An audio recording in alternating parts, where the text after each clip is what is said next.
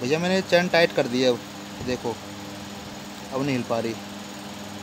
थोड़ी बहुत तो उन्नीस बीस तो हिलेगी, जैसे यहाँ से ना मैं टाइट कर दी यहाँ से। ये बुल्ट लूज करके ना, इसको सरका दिया आगे अब टाइट है ये। अब दिखाता हूँ आपको सेल्फ मार के।